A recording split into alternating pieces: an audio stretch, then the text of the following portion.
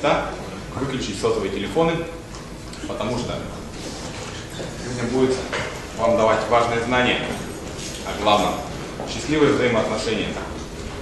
И по традиции уже в третий раз ведет эту лекцию Масляков Сергей Иванович, преподаватель экономики, психолог, э, директор производственной компании «Лотос», человек, который давно изучает, изучает древние знания Веды.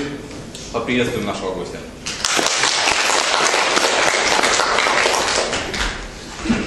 Добрый вечер. Я хотел просто вначале задать вопрос. А, Кто первый раз пришел? Опять, опять половина. У меня всегда сложная ситуация, потому что а, мне приходится повторять. А мы с удовольствием. Да? Нормально? Тогда я хочу это удовольствие перенести на вас. Может, вы повспоминаете, может быть, мы вспомним, о чем мы говорили. И заодно как бы мы активизируем свои мозги, да, каждый из нас. И я тоже буду его активизировать вместе с вами. Давайте так, хорошо?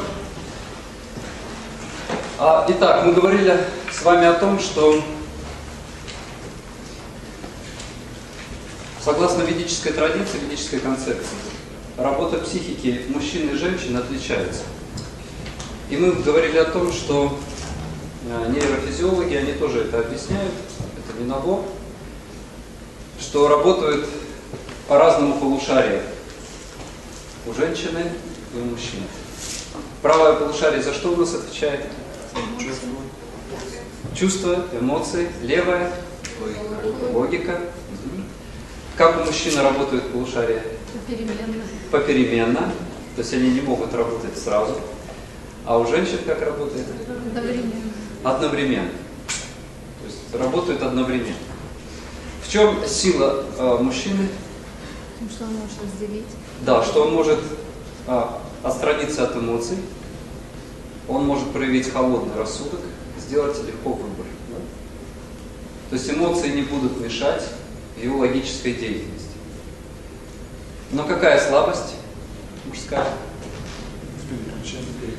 Переключение, да, он, ему сложно переключиться. То есть у него продолжается работа дома, а на работе еще какое-то время продолжается домашнее дело. То есть ему сложно переключаться. То есть это уже сфера женщины, уметь переключать полушария, так сказать, если грубо говорить. Просто уметь переключать полушария мужчины с одного на другое. Это искусство. И это искусство как раз требует изучения и знаний, как общаться. Итак, теперь женский, рассмотрим мозг, женские полушария, как они работают, какая сильная сторона у женщин, в чем это выражается. Разум никогда не включается. Разум, да, то есть она может хорошо а, определять эмоции, свои чувства. То есть мы говорили, приводили пример, что женщина никогда не думает, нравится ей это или нет. То есть она сразу понимает, ей это нравится, либо это мне не нравится. Потому что эмоциональное и логическое полушарие работают вместе. И поэтому пришла какая-то эмоция, логика чистая, она может оценить эту эмоцию и сказать, мне это нравится. Поэтому обычно мужчина обращается к женщинам, чтобы выбрать одежду. Потому что женщина может сказать, ну нравится просто. А почему? Ну просто нравится, логика остается при эмоции. Ну какая есть слабость? Нет у женщин слабости, конечно. Женщины очень сильные. Мужчины всегда этого хотят, чтобы женщины были сильные. Об этом, кстати, мы сегодня будем говорить. Это такая мужская идиллия. Мужчина хочет, чтобы женщины были сильными. Но все-таки какая слабость? Что эмоции перехлестывают. Эмоции, да. То есть нужна защита эмоций. То есть мы говорили, что э, женская логика это и логика эмоций. То есть, а нет логики, собственно. Логика построена на эмоциях. То есть сегодня у меня хорошие эмоции, значит хорошо все. Я к этому подстрою всю логику. Если мне сегодня плохо, значит все будет. Логика совсем другая будет. Мужчина не понимает этого, этой логики, потому что она каждый раз какая-то другая. На самом деле эта логика есть, это логика эмоций. Вот. А обязанность уже мужчины, его искусства, заключается в том, чтобы эмоции женщины находились в определенном нормальном диапазоне, чтобы они как бы не зашкаливали, чтобы они а, не, не ходили глубоко вниз, какое-то депрессивное состояние, это как раз роль мужчин, чтобы поддерживать эмоциональное состояние женщины а, в нужном таком состоянии. Так, и мы еще говорили о том, что психика, да, мужчины поделены, да, вот на такие четкие вещи, разделена, то есть, скажем, мозг, если просто говорить грубо, мозг мужчины разделен на определенные топики такие. Каждый топик отдельно. Работа, отдых, ничего не смешивается в мужской, мужской. Прошу прощения, мне пришлось долго говорить еще до этого. Поэтому я где-то буду с сиплым голосом, прощайте. Работа, отдых. Что еще может быть? Какие сферы жизни? Семья. Семья. Хобби. Что? Хобби. Хобби. Хобби и отдых для мужчин это отдельные вещи, сразу скажу. То есть это не, смешивается у него. Что трудно очень ну, понять женщину. Потому что он сейчас отдыхает. А вот дальше у него хобби, у нее это уже не отдых. А женщина ну, опять отдых. И есть один квадрат, о котором мы говорили, что там? Что там? Пустота. Там ничего нет, да. То есть у мужчины есть такая способность психики, способность не существовать просто, без динамики, просто существует. То есть в психологии это называется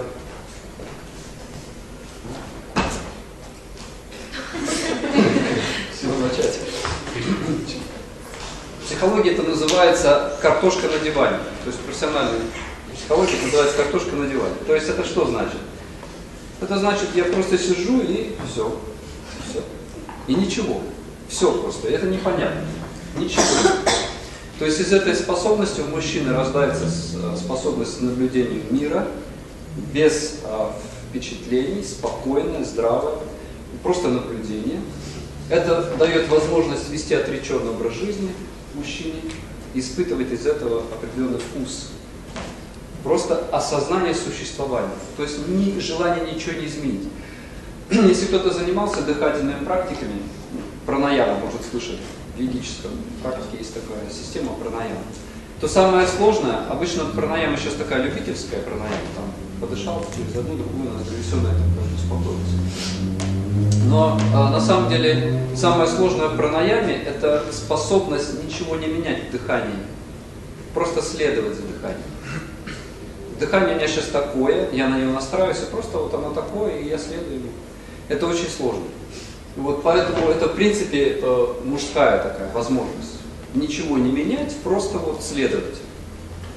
Это мужская психика. И, соответственно, здесь никогда не соединяется там работа, отдых. То есть мужчине нужно определить, так, что я сейчас делаю? Я сейчас работаю или все-таки отдыхаю? Мне нужно понять, если это перехлестывается, для мужчины это сложно. То есть он тогда не получает удовлетворения. Ему нужно точно дифференцировать, абстрагировать. Вот сейчас я работаю, все. Я работаю, значит, я что-то делаю, получу какой-то результат. Я делаю А, потом делаю Б, потом делаю В и получаю там результат. То есть все понятно. То есть какое при этом настроение, не важно. Что он думает, о чем думает. Ну, нужно просто получить результат. То есть мужчине нужен вещественный результат. То есть осязаемый результат. Какое настроение при этом не важно. Как устроено все в женской а, психике? В женской психике, да, как ее сумочке. То есть все есть, как бы, для нее это все понятно, но для мужчин это ну, абсолютно непонятно. То есть все смешано вроде как, но с другой стороны все находится на своих местах, потому что там есть эмоциональная логика. Вот чисто эмоционально они так лежат так. Почему? Потому что так удобно. Вот, вот сейчас вот надо, чтобы кошелек глубоко лежал в сумке. Вот так удобно просто. Мне сейчас, я так чувствую комфортно себя. Я вот одеваю такую одежду, потому что мне сейчас комфортнее так. Я чу- чувствую сейчас лучше, когда я вот так именно одел. Почему мужчина спросит, почему ты так оделась сейчас? Нет ничего, женщина ничего не скажет на это. Она скажет, потому что вот так я хочу сейчас себя чувствовать. У мужчины параллакс голове. Что, что чувствует, что, зачем? То есть нужно просто, чтобы было А, В, В и вот такая одежда. Причем здесь такая одежда? Почему так вырядилась? Нет, потому что это просто эмоция, которая вот мне сейчас существует, и она ее хочет выразить. одеваясь в определенную одежду. Вот, и для женщины, соответственно, ей больше важен опыт. То есть результат ей нужен тоже. Нельзя сказать, что женщина не интересует вообще результат. Ей тоже нужен результат, но результат интересует женщину, если есть позитивная, ну, позитивная эмоция. Если что-то делается, да, то есть мы делаем это, делаем то, делаем следующее, но при этом никаких хороших переживаний нет, эта женщину не интересует. В этом возникает сложность в понимании. То есть мужчина говорит, бьется там посуда где-то, мужчина говорит, заходит на кухню, мы приводили пример, и начинает говорить о том, как не бить посуду. При этом женщина что начинает говорить? Она говорит, ты всегда так делаешь. И мужчина, он говорит, так, что я делаю? Я, во-первых, не бью посуду, да? Во-первых, я к посуде вообще отношения никакого не имею. Причем здесь, как бы ты всегда это, так поступаешь. Он, он начинает беситься. Почему? Это, это нелогично. Ну что имеет в виду женщина? Она имеет в виду, когда ну, в определенной экстремальной ситуации, то природа она больше проявляется, лучше, ярче. И женщина имеет в виду, что ты не понимаешь сейчас моих эмоций. Ты всегда так поступаешь, ты, не, ты всегда не понимаешь моих эмоций. То есть ты, не, ты всегда как бы не, не понимаешь, что я чувствую. То есть ты сейчас как бы не даешь возможности этим эмоциям правильно развиться, ты не охраняешь меня от каких-то негативных эмоций, а пытаешься меня чему-то научить. Зачем мне это? То есть вот эта логика ну, женских эмоций, она вот так вот выглядит, что женщина нуждается в том, чтобы защитить от определенных эмоций. Если этого не происходит, она говорит, ну ты всегда так поступаешь. Что она имеет в виду? Что он не понимает ее эмоциональное состояние. И мужчина, вернувшись опять еще чтобы это было понятно, мужчина думает, ну почему я не понимаю? Я все понимаю, ты бьешь посуду, я должен сказать тебе, как не бить посуду. Ну для женщины это вообще нонсенс просто. Для нее это не нужно. Ага, вот это мы изучали, в принципе, более подробно вот, э, на первых двух занятиях, то есть разом Там еще вот эти вот этапы. а, и начали, да. И с этого мы сегодня еще и поработаем с ними. Здесь понятно, все-таки вопрос здесь есть, чтобы можно дальше идти. Потому что кто-то вот просто включился недавно, поэтому может быть не все будет понятно. То есть мы говорим сейчас о жизненных вещах, что на самом деле жизни происходит, и как э, не попадаться в эти ловушки. Потому что, в принципе, наука отношений сейчас не изучается. Сейчас изучается там математика, физика, как сделать, чтобы машина поехала, так, чтобы свет горел. Но законы отношений, они не изучаются. Психология очень далека сейчас от, от изучения законов отношений. То есть как человек, как объект, из чего он состоит, мы не знаем, это черный ящик. То есть мы делаем что-то по отношению к человеку, а результат прямо противоположный. Почему? Потому что мы не знаем, что из себя человек представляет, из чего он устроен. Вот из чего устроен человек. У него есть чувства. Чувства есть? Есть у человека чувства? Есть. Сколько их? Пять. Пять. Да, пять чувств. И то сейчас, если попытаться вспомнить, какие это чувства. боже мой. Ну, то есть я к чему все говорю, что мы больше сейчас ну, размышляем с позиции вот, э, вещественных вещей, а, вещественных вещей, да, чем с позиции того, что из чего, из- как человек устроен. Потому что мы, ну, как бы, вся наш, все наше окружение, вся культура, она не располагает к. То есть человек просто стремится достичь результата какого-то, он э, строит какие-то планы, и отношения подчиняют этому результату. Поэтому, в принципе, человеку не важно, из чего человек устроен, а что еще у человека есть? Есть чувства. Есть такое понятие, как ум. Есть у человека ум? Есть. А есть разум, есть ложные, есть, наконец, душа. Но это так, за, за, как бы, за чертой уже изучения. Человеку, в принципе, не важно. Важно, чтобы он был, важно, чтобы он как-то был полезен, и на этом все. Хотя счастье, оно как раз черпается из отношений. То есть человек просто остается механичным, если он просто ну, относится к, к людям как телу, просто к телу. Итак, мы об этом немного говорили, и сейчас еще одна тема, которую мы начали. И мы говорили, что отношения проходят четыре стадии. Первая какая стадия? Кто помнит? То есть мы будем на этих стадиях разбирать, где проявляется мужская слабость, где женская. Ну, созерцание, размышление. Существование, да. Существование. Это значит невовлеченность. То есть мужчина может быть не вовлечен эмоционально. То есть мужчина может, допустим, уйти в гараж и там сидеть себе один, ковыряться, что-то делать. Ну, конечно, он не всегда один. К нему приходят друзья, и они там... э, И они там веселятся по-своему, да? Мужики есть мужики. Что с них возьмешь, да? Ну, в общем, существование. Это же тоже отношения, только как бы от Да. от разговора, причем с маленьким. Да. Существование. То есть, чтобы это было понятно, что это значит, да? То есть мужчина может не вступать в отношения за счет вот этого квадратика, который есть в его психике, да, где нет ничего. Он может просто существовать, все нормально. Для него все хорошо и так. Есть сейчас что-то, нет ничего, все хорошо. Дальше что идет?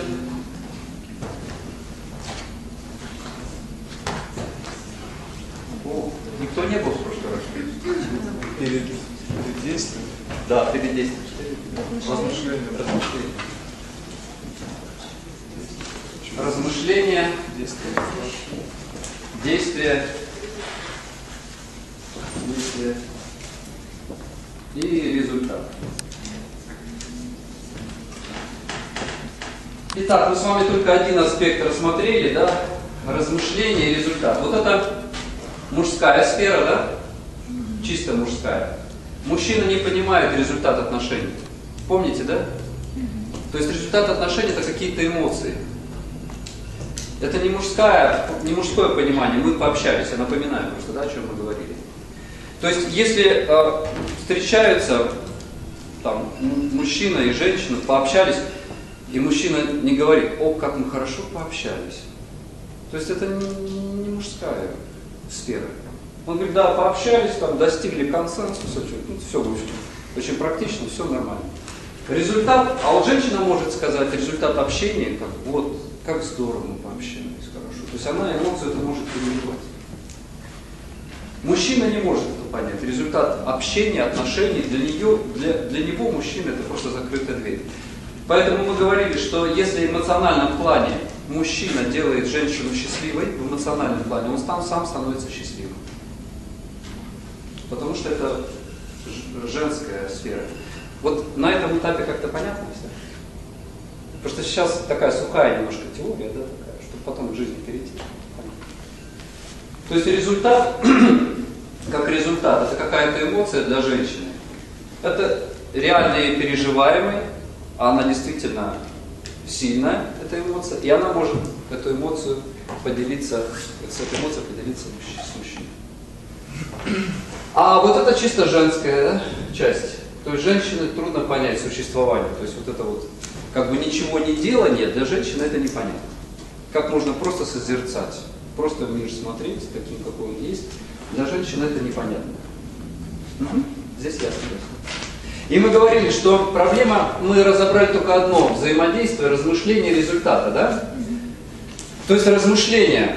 И мы приводили пример о том, что мужчина может планировать отдых. Он говорит, давай поедем отдохнем. Через Discovery. Поедем туда-сюда. То есть он, он планирует. Что значит размышление? Это значит план. Это значит, что предполагается, что может и не поедем. То есть, ну, 50 на 50, а может быть 30 на 30, 30 на 70. Я просто планирую. То есть для мужчины это нормально, он планирует. Женщина же, она видит результат. Так, ты же сказал, извини, ты же обещал. Говорит, как я обещал? Я просто планировал. У меня были перебор вариантов. Вот, может поедем, может нет, может туда поедем, может сюда поедем. Но для женщины это будет уже ну, определенная проблема. Потому что женщина видит уже как необходимость. То есть здесь как план, а здесь как необходимость. Она говорит, так, ты помнишь, говорил. Или как я приводил пример э, со своим другом, он просто хотел поехать отдохнуть на море, просто отлежаться. И он так поделился с женой, давай поедем отдохнем. На следующий день он пришел, как бы у него уже все, уже все, всеми, со всеми созвонились. Она уже со всеми созвонилась, она уже все узнала цены, какие цены в Праге, какие цены там в Риме, какие скидки рождественские, там где, в каких городах. Все уже целый список, и сколько надо денег, и все подведено чертой, и того 120 тысяч. И муж пришел, говорит, ну все, что-то что-то ты не то делаешь. И у них была целая, ну, целая проблема в течение там, несколько недель. Они друг с другом не разговаривали. Она считала, что он просто болтун, а он считал, что она просто, ну, это, не понимает его вообще полностью. Он просто как бы размышляет. Вот поэтому мы говорим, что вот здесь вот именно пересечение идет, да? А, мужчина, если нет женского аспекта, мужчина не переходит к действиям. То есть мы знаем, что у холостяков там планы уже на 10 лет вперед, но он ничего не делает. Он знает уже, как изменить страну, как создать изобилие во всем мире, как построить коммунизм в отдельно взятой стране, как сделать всех счастливыми, но при этом он просто лежит и как бы и сигара у него такая, вот, и все. Существует. Но сигара это такой образ, который вот очень хорошо подчеркивает мыслителя. Вот как, знаете, образ создает у нас средства массовой информации. То есть обязательно сейчас э, в рекламе, когда ты куришь, надо, чтобы ну, мышление было, задумался, Штирлиц там. Он думает сейчас. Вот так же и холостяк. Он. И вот я Не будем поддерживать это. не буду развивать эту мысль, но это образ, который просто можно для, многих понять. Вот, и здесь как бы действия не происходит. Почему? Потому что нет кого? Женщин, да. Когда женщины появляются, все, сразу шторочки появляются, гординки там. Этот муж уже там тут-тут-тут бегает, уже что-то пытается делать. И у него уже меньше времени на планы какие-то, он уже меньше размышляет, он больше делает, ему надо это, он уже понятно. Она ему просто сказала. А, что надо, она уже заявила.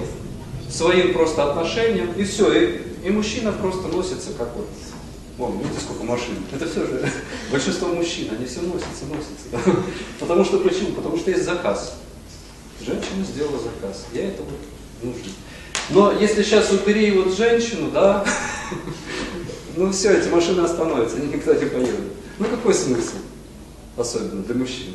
Он в этот квадратик переходит существование, и все. И все нормально.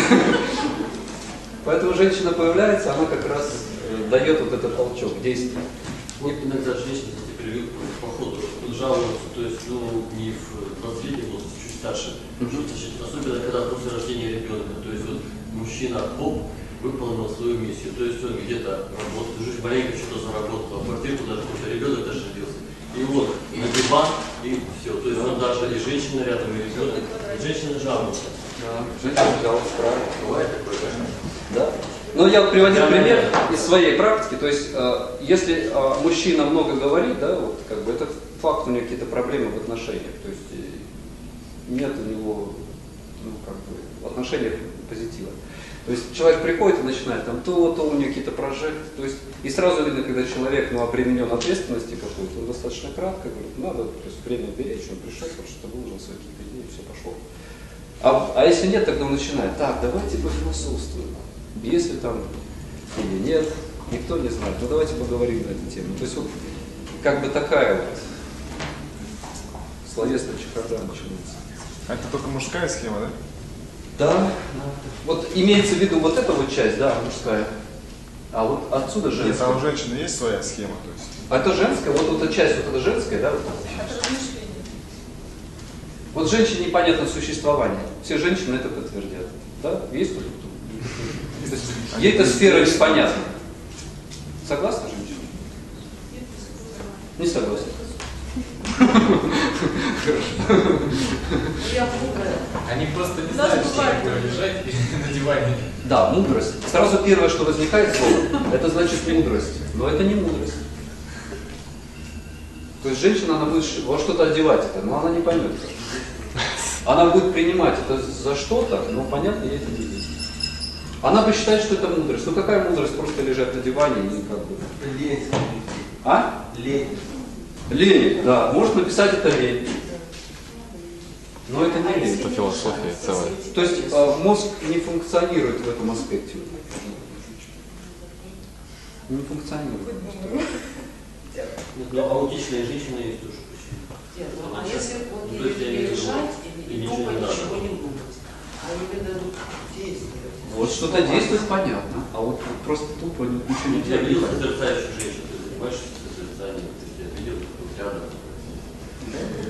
Есть такое, есть. Просто женщина ведет себя по-мужски. При этом вы бегаете. Вот она и созерцает, как вы бегаете.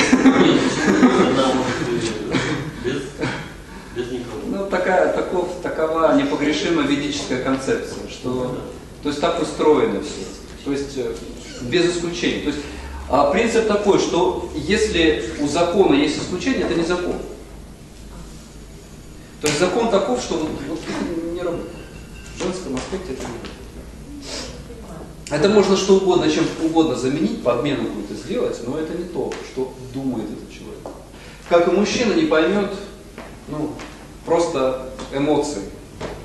То есть он, он может сказать, да, хорошо, или плохо. Какая-то гамма небольшая есть. Но просто ради этого, чтобы просто сидеть и общаться, причем мужчину раздражает, допустим, что женщина по телефону топ топ топ топ топ топ какой смысл? То есть логики нет никакой. На самом деле огромная логика. Иногда мужчины болтливые женщины. Да. соберут- Компании соберутся, компании. Просто я Да. сам Да, но почему они это делают? Опять же, они не, не делайте подмену, не делайте подмену. Ну, Вот мужчины это не поймут никогда. Это опять же закон. Он будет думать, почему мужчина общается с другими, с мужчинами? Друзья. друзья, правильно. Не просто эмоция, а друзья. Он мне когда-то пригодится. Полезно сказать. О, не всегда, я, я ну, не знаю. Просто обменяться эмоциями иногда. Мужчина встретился эмоциями. Как ты чувствуешь? Я чувствую себя. А ты как? И они так, и просто разошлись. Нет, это, это также будет во что-то, что-то будет муж, мужчинами как-то подоплека какая-то будет. Да, у нас просто эмоциональный разговор, да, мы смеемся, да, мы смеемся, да. Планы строят, размышляют. Да, но на самом деле они что делают? Вот это делают. То есть какие-то размышления идут, какой-то какой интерес. Но вот этот ну, результат, эмоция, просто отношений, он не понимается. Коллективное размышление. Коллективное размышление. При этом, какие, мы говорили, что разница эмоций мужских и женских, что у мужчин эмоции идут от, размышления. То есть они встретились, мужчина инициировал какую-то тему одну, а тот ее поддержал, и они ходят, тук-тук-тук-тук. о, поняли что-то, да? И они такие, о, поняли, хорошо. Но просто эмоцию получить, вот это тонкая разница. Почему мы сталкиваемся с этой проблемой? Потому что это не изучается. То есть это вещи, которые главные в нашей жизни, мы их не изучаем. Поэтому делаем ошибки в отношениях, элементарные ошибки, не понимая, что происходит. То есть эмоции будут идти вот от этого и от этого. Вот я сделал это, мне хорошо. А просто вот пообщался, обменялся эмоциями, я этого не пойму. Ну, моих мозгов не хватит. Может, кто-то есть сейчас умник, мужчины, которые могут понимать. Просто пообщался эмоция. Нет. За этими эмоциями будет что-то стоять. Будет какая-то подмена. Мгм. Или замена, скажем так. А, Итак, вот, на принципе, на этом мы остановились в прошлый раз. А какие-то какие вопросы здесь есть еще? Здесь ясно? Вы еще говорили про типы людей, ну или как это называется? А, про природу, да? Да, про природу. Мгм. Повторить? Еще, да? Ну это многие знают о том, что есть четыре класса, да, людей. Люди все, это, это важно. А взаимосвязи какие-то еще есть тут как бы? Да, мы рассмотрим, еще, еще рассмотрим. На многих, многих моментах отношений мужчина будет и женщина будет делать какие-то ошибки, мы их рассмотрим еще. То есть мы рассмотрели только один пример такой, да, размышление результат. То есть когда мужчина просто размышляет, планирует, а женщина это видит уже как результат. И здесь большая проблема возникает. Мгм. С этим мы разобрались как раз. Мы говорили еще о четырех природах. Почему мы говорили о четырех природах? Это дальше тема будет у нас еще. Почему? Потому что если мужчина и женщина разной природы, то они не смогут вдохновить друг друга. То есть, допустим, женщина хочет, чтобы мужчина работал, зарабатывал большие деньги. Если у него природа другая, он ну, не будет вдохновляться. То есть, и поэтому мы выделяли четыре класса. Это интеллектуалы, да? Потом еще какой класс есть? Торговцы. Торговцы это ниже, да? Управленцы. Управленцы и рабочие. То есть рабочие это, это не говорит о том, что это плохо.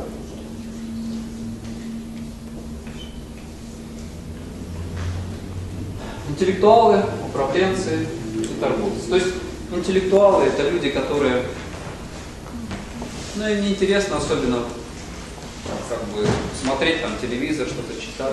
Человек, который ему просто интересно что-то открывать, ему не важно, как- в чем он ходит, как он, кто о нем что думает. Достаточно редкий такой, такой класс людей, очень редко это встречается, особенно сейчас, в современное время. Кто такие управленцы, тоже понятно. То есть это люди, которые очень дисциплинированные, жесткие достаточно.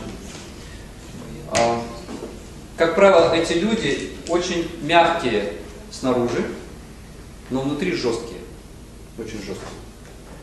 Интеллектуалы наоборот, они снаружи жесткие, мягкие внутри, как один из важных признаков. То есть интеллектуала можно так понять, что как бы, он, он, он говорит правду, он никогда не говорит ложь. То есть сейчас об интеллектуалах немножко другое э, представление. Что значит интеллектуал? Интеллектуал это не тот, кто может перебирать в уме комбинации разные, как в шахматах.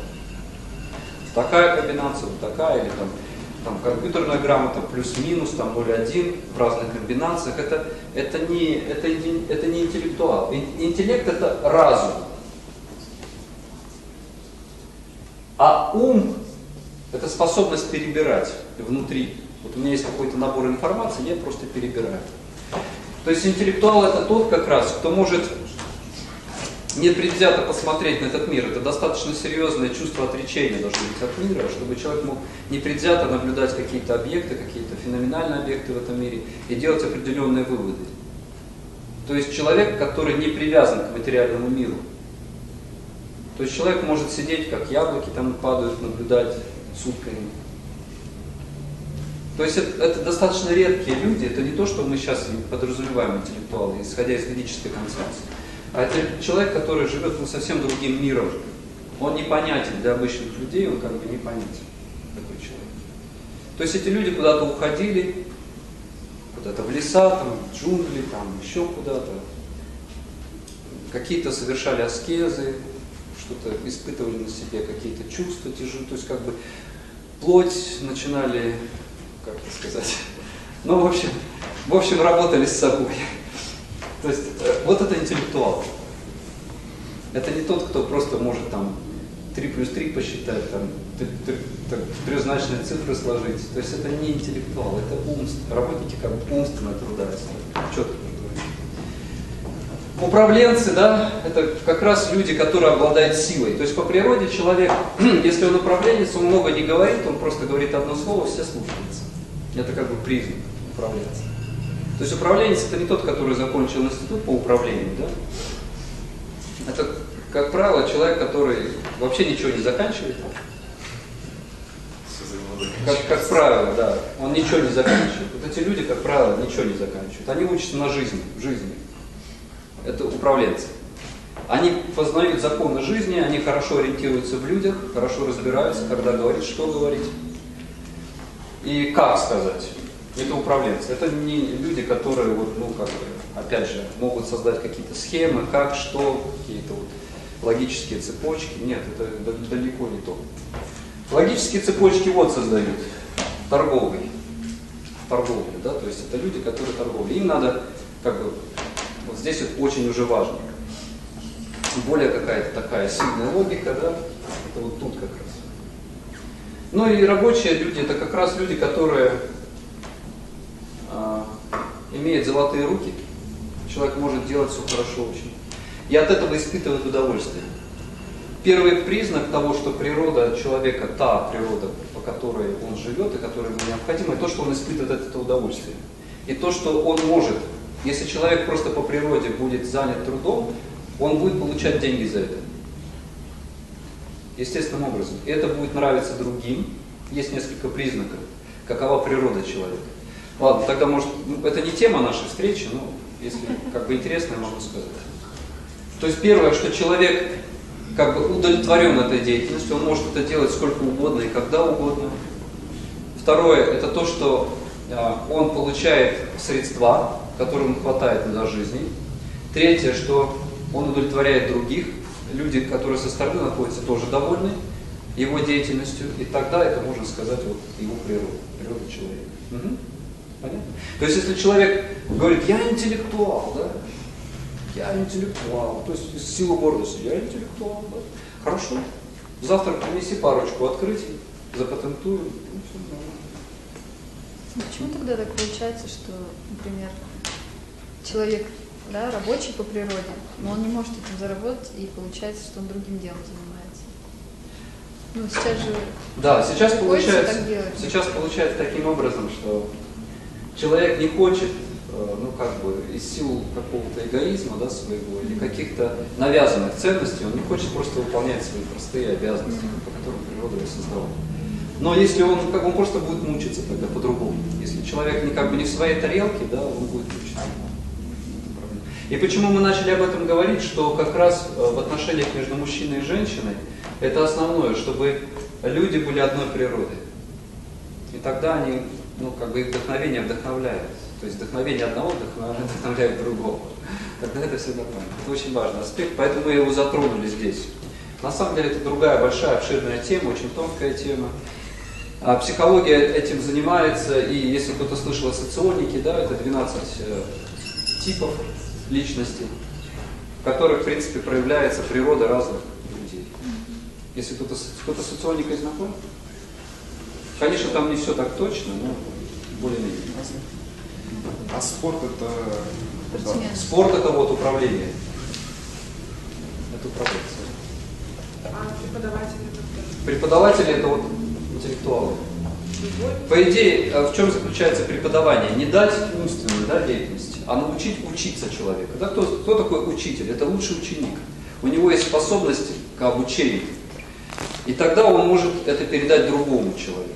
И на самом деле учитель должен передавать качество. И ради этого как бы человек интеллектуал, он, во-первых, он соблюдал какую-то вот, ну, как пример, да, Махатмы Ганди привели э, ребенка и сказали, мама сказала, много сахара есть, скажите ему, чтобы он не ел много сахара. Ну, приведите его через неделю. Но она приводит его через неделю, говорит, ты не должен есть много сладкого. Хорошо, не буду. Ребенок ушел, мама спрашивает его, а что вы сразу-то не сказали? Да потому что я сам сладкое люблю. Я вот неделю не ел сладкое, чтобы в словах была сила. Потому что если человек чему-то не следует, но этому учит, результат будет лицемерие. То есть если он как бы что-то дает, пытается теоретизировать что-то, но при этом человек вот чувствует неудовлетворение, потому что у него ничего не изменилось. У него на самом деле ничего не изменилось. Ему нужна энергия, психическая энергия, которую он получит. Ему нужна помощь. Ученик это значит, он нуждается в помощи. Учитель это тот, кто оказывает помощь. А как может человек оказать помощь другому? Это значит, он этим должен обладать. То есть как научиться зарабатывать деньги? Нужно получить общение с человеком, который успешно это делает. Поэтому, когда человек, допустим, торговлю обучали, вот давали успешному торговцу, да, он просто общался с ним, общаясь с другим человеком, ты становишься таким же. Да? Но если у тебя предрасположенность к этому есть, если у тебя предрасположенности нет, то это просто трата времени. А если есть предрасположенность создавать магические цепочки для обучения? Для обучения. Да. Да. То есть важно что, для чего. То есть что на первом месте стоит. Если обучение, то это То есть интеллектуал, он о чем думает? Он, он не думает о себе практически. Он только думает о том, как кому-то помочь. И он создает какую-то силу внутреннюю, и эту силу передает. Он передает управленцам, торговцам, рабочим эту силу. И человек становится успешным в управлении, в торговле. Поэтому это называлось благословение, да, раньше? То человек пришел, он понимает, что он просто уперся в стенку, ничего не меняется. Я работаю много там, и, и пошу, и учился, и три у меня там, три аспирантуры за спиной, а толку никакого. Почему? Потому что нет сил, реальной силы психической, которая позволила человеку реализовать себя. И поэтому приходит к интеллектуалу, который обладает этой силой. На санскрите называется теджес. То есть человек приходит к нему, татастку. Это не то, что как бы хоп, у него что-то в уме там сработало, и он хоп-хоп-хоп побежал все. Нет. Но у него уже потенция возникает, чтобы добиться успеха в своей сфере. То есть его а, как бы классификация заключается, а, как эксперт он готов оценить, кто на самом деле перед ним и какие благословения ему давать. То есть он оценил человека, говорит, а сам он где-нибудь сидит, затворник там, а где-нибудь там в пещере. Ну, на самом деле, таких мало сейчас людей. Сейчас в большей степени, даже будучи в Индии, множество раз встречался, ну, как бы пытался встречаться с такими, такого рода людьми, большинство просто играют. Они играют, что они такие вот великие, но очень редко бывает, что встречаешь такого человека. Окей? Дальше, дальше. Так, а, вот с этой схемой ясно, да? Теперь вернемся опять к отношениям между мужчиной и женщиной. И вот на этой стадии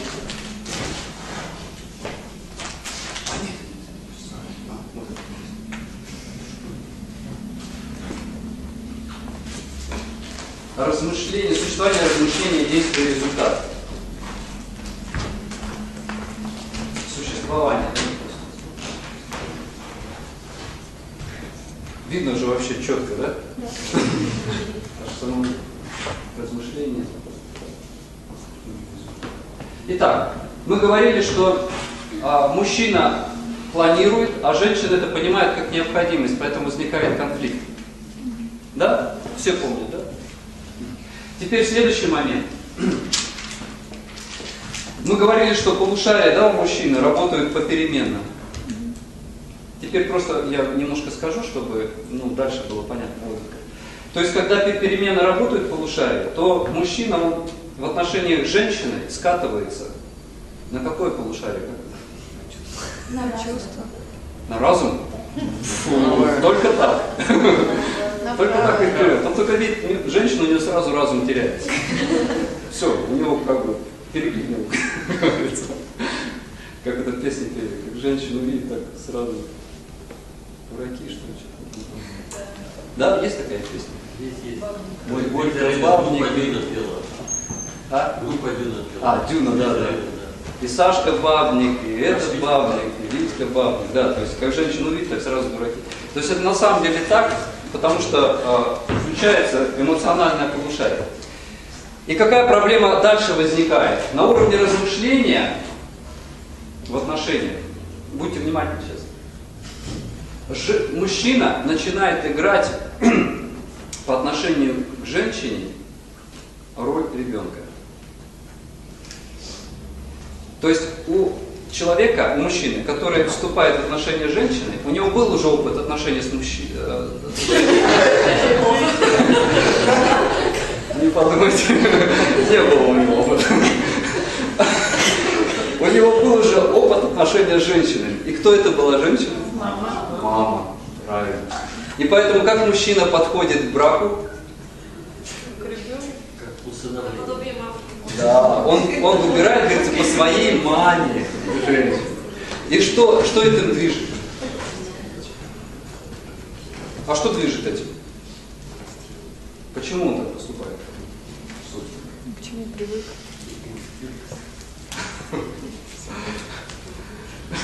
У нее есть вкус просто, да, вот определенный вкус. И он этот вкус начинает привносить в отношения с женой. А это уже другое. Он ожидает, что ага, семейные отношения, это что значит? Это комфорт, это картошка на диване, да, это телевизор, это еще там что-то.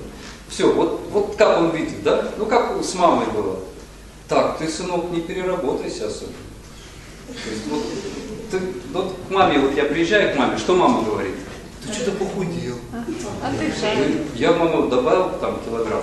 Нет, что-то ты либо весы смени, либо не время. Там давай вот тебе покормим, давай это, давай Отдохни. вот отдохни. Ты уже так, ты так работаешь. То есть, понятно, да? И ситуация как? Что а, мужчина, вступая в отношения с женщиной, в семейных отношениях, он всегда съезжает на эту позицию. Он съезжает на эту позицию, а? Халявщик. Халявщик. Он съезжает в позицию матери и ребенка. То есть он начинает играть женскую роль.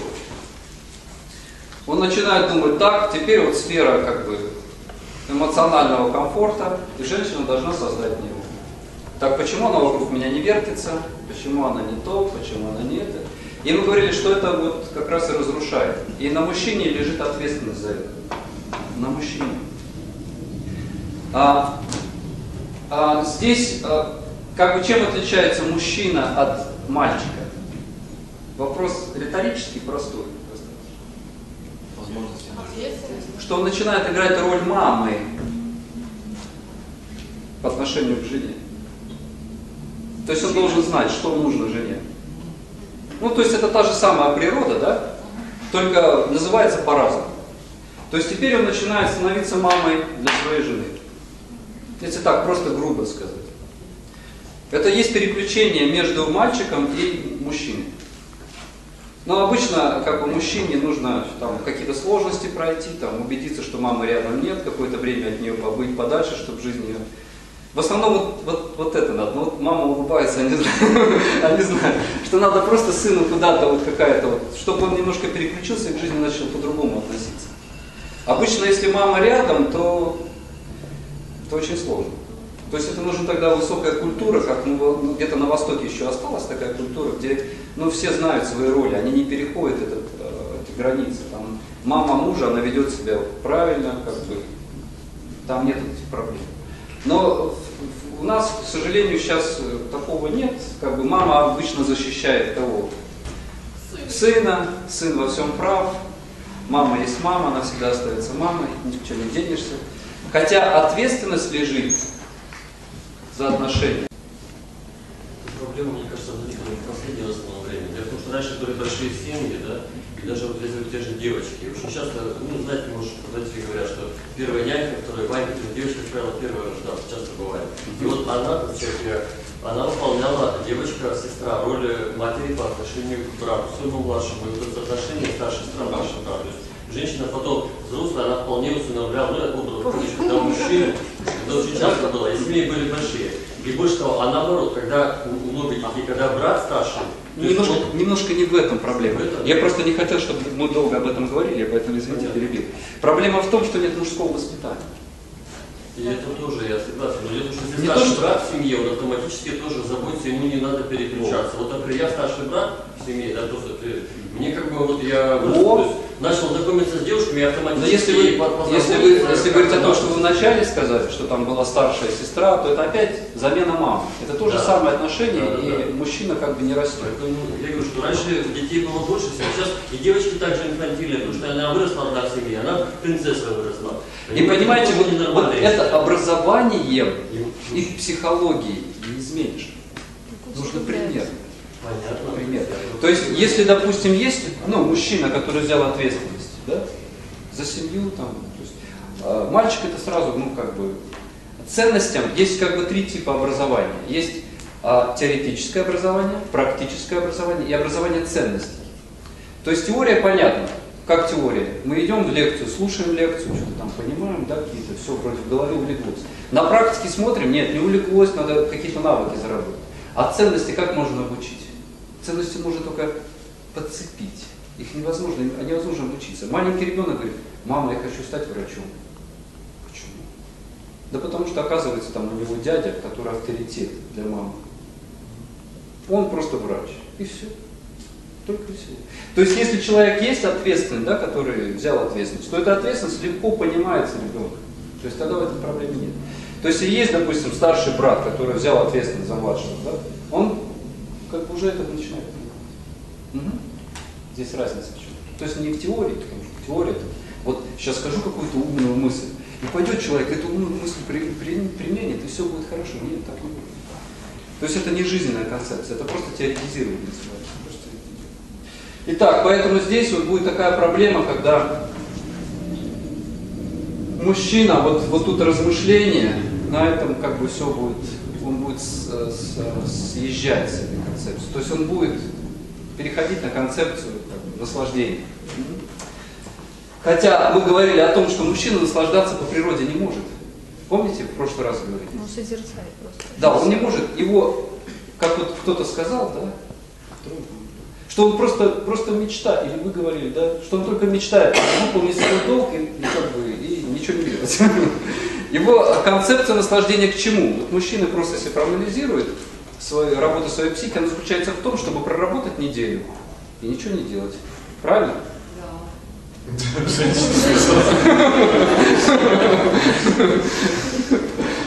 То есть мужчина, он, он, ну, сколько, он, как понимаете, с, него не выживешь, не, не выживешь с сухой тряпки воды. Там нет этого. Это есть в женском полушарии, в активном а, правом полушарии женщины. Сдвинуть полушарие? Может. Мужчина сдвинуть. О, мужчину можно сдвинуть, да. Ну, как обычно женщины сдвигают? Мало ли что он хочет там Да. Да. Мы об этом еще поговорим, как сдвигать мужчин. Как- их сдвинуть с мертвой точки, чтобы у них это мозги переключились в другое место. Вот это проблема. Итак, поэтому мужчина отличается от мальчика просто ответственностью. Ответственность это значит, что бы ни произошло, я никого не обвиняю. То есть это мое. Ответственность это мое. То есть какой мне смысл обвинять там мои брюки, там еще что-то? Это мое же. Ну сам дурак, если такие брюки купил. Ну какой смысл обвинять кого-то, да? Или, допустим, я приводил пример на первой встрече, что едет человек на машине, и потом хоп, повернул куда-то и вылетел за пределы, за бордюр. И он же там не говорит, вот плохая машина. Он говорит, ну, что-то вот неправильно не досмотрел, что-то не так сделал. Это я виноват, конечно, я виноват. Зачем это было гнать так, зачем как бы так резко тормозить или резко? Это значит, он взял, ну, как бы ответственность.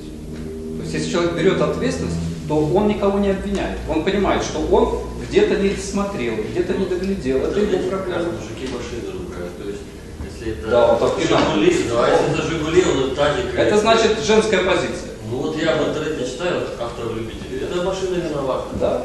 Плохая машина Жигули. Нет, так они правы. Если иномарка, так она держит дорогу. Знаете, это отношение. Она хорошо держит дорогу. А Жигули плохо держит Так зачем ты ее брал?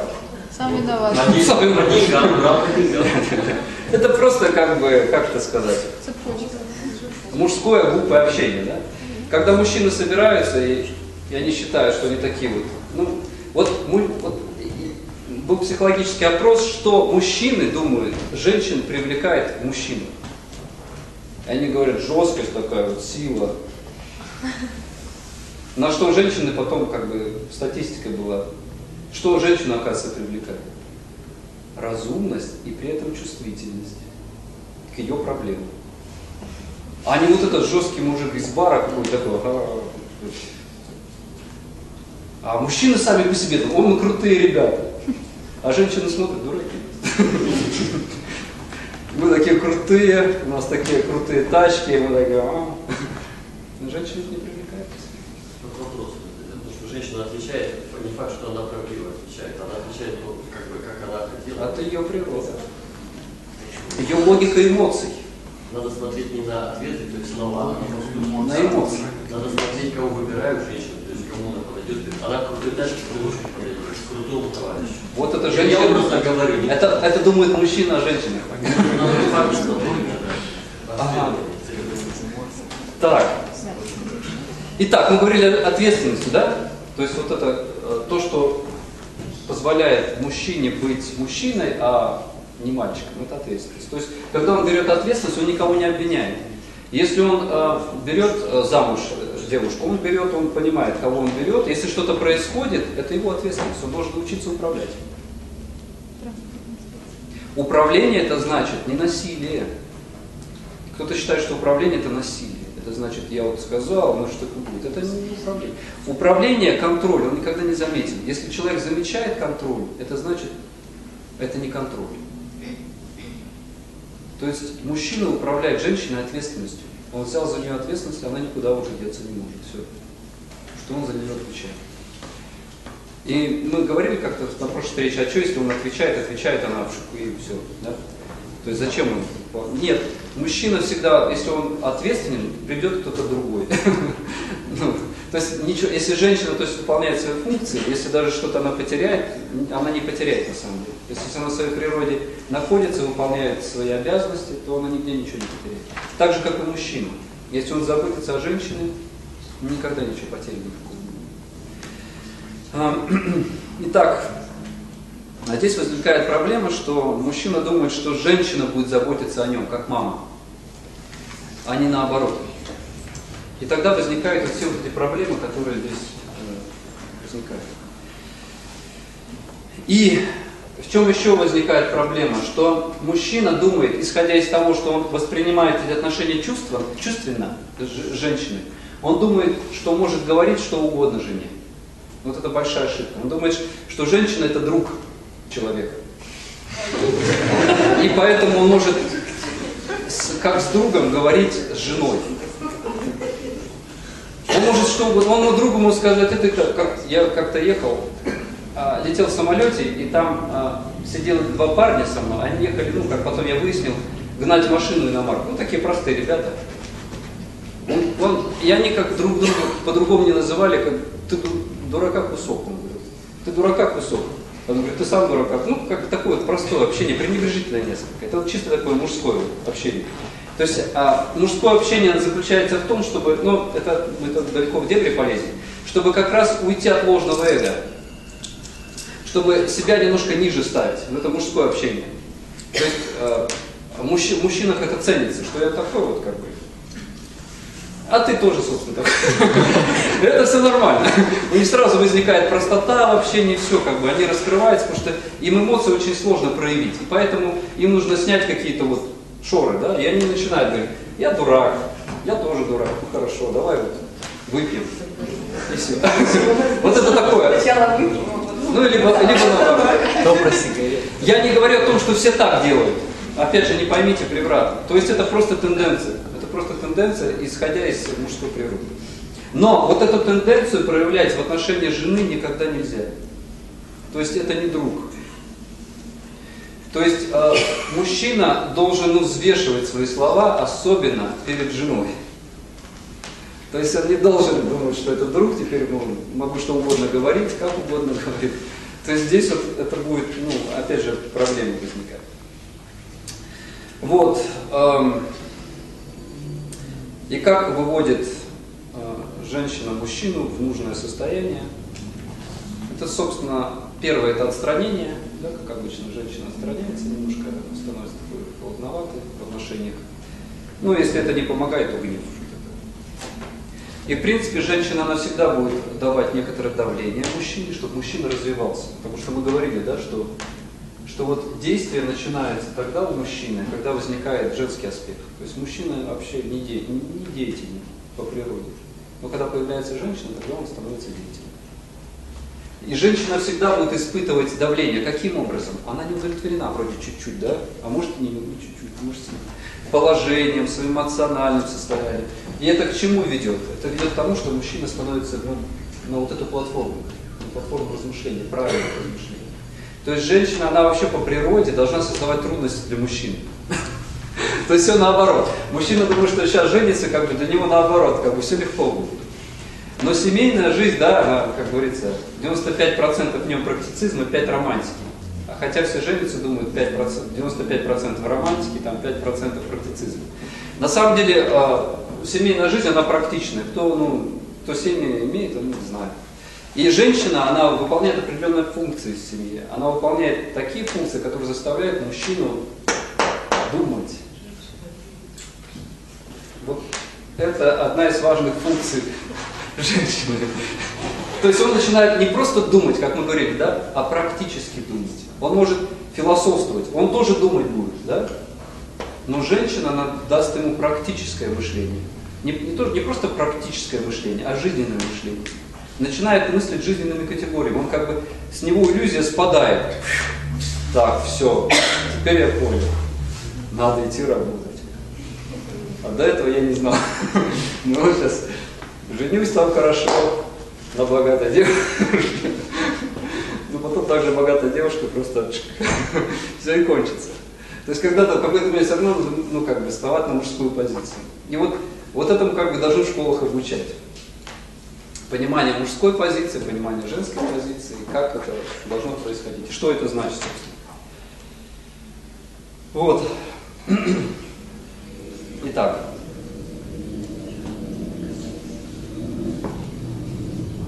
Мы об этом уже говорили. Здесь какие-то, может, вопросы появились? Скажите. Можно один только коротенько. Вот у нас иногда бывает женщины, женщина выступает мужчина, в роли мужчины женщина. Вот. Это я к чему? Дело в том, что, во-первых, в каждом человеке, вот в каждом мужчине есть женские гормоны немножко, в каждом э, э, женщине есть мужские гормоны, наоборот, да, то есть если поровну гормонов, вроде как-то такая двуполость, да, проявляется в человеке, и то, и то. И те, и те черты проявляются, мы замечаем. Не-не-не, это мужская логика. Сейчас объясню. Женщина всегда остается женщиной. Она может быть, ну как бы... Если у нее там борода,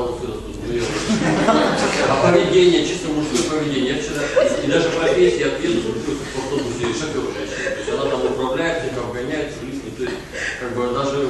Когда Маргарет Тэтчер оставляла пост. Она сказала, что я теперь не нуждаюсь в этой, в этой позиции премьер-министра. Почему? Потому что умер ее муж. Для чего он сейчас делает? Было простое определение, которое давал журналистам. Вот, кстати, пример, да, женщины-правители. То есть, Она оставалась при ней. женщиной. Муж все равно как бы при ней был. Разве вон жила? Все, теперь нет смысла. Она ушла с поста.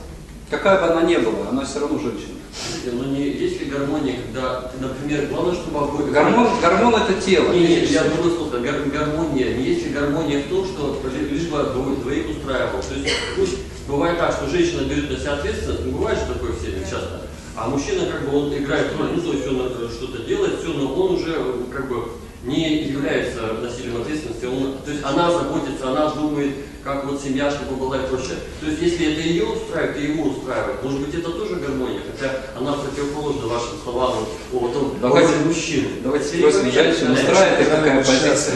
Когда, когда Нет, женщина просто если солями, я, я обоих это устраивает. Не, не, Мне вопрос не не устраивает. Мужчину, если мужчину это устраивает, это проблема уже. Уже проблема. Уже.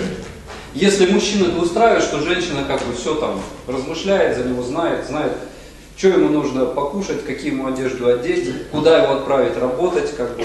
Ну да. Вы же говорили, что это Заботиться, идеально да. для мужчин, Да, чтобы женщины... А если ты ее То есть она, она в принципе что должна сделать? Она должна просто дать им толчок, да? То есть, ну, ответственность должен он нести. Ответственность именно, важно Может слово. быть, она к этой роли привыкла. Если у, них, у нее в семье, может быть, так же было, может быть, так же мама, папа, ну, как бы ответственность была. И плюс еще в семье она была старшая сестра, младший брат. То есть она привыкла все время делать так. И Привычка это не значит хорошо. Есть плохие привычки. Это не говорит о том, что все, мы теперь это принимаем. Вот она вот так обусловилась, у нее была такая семья, но тем не менее, если она будет продолжать жить так дальше, она, ну, как бы, будет страдать и мужчина, и она будет страдать. Гормоны будут нарушаться позднее, будут проблемы со здоровьем. Потому что первое сначала неправильная работа нервной системы, да, парасимпатика, симпатика, потом гормональный уровень, уровень крови и физиология пошла. Все, если женщина не, ну, как бы не живет не своей природой, пошли гормоны правильно. то есть все равно потом будут какие-то Да. гармонии. Какие-то проблемы. Вроде бы они сначала, да, ну, сначала нормально было. То есть когда женщина выполняет роль мужчины, а мужчина женщина. Да? Поэтому лучше, несмотря на то, что может быть сейчас женщина как бы, ну, просто не в своей позиции находится, да? Но опять же я хочу сказать, что не обязательно, если женщина руководитель, то она не женщина. Чтобы это не путали. Ага. Потому что если мы говорили, есть разная природа, она управленка, да, просто. Да, по природе. Она будет управлять.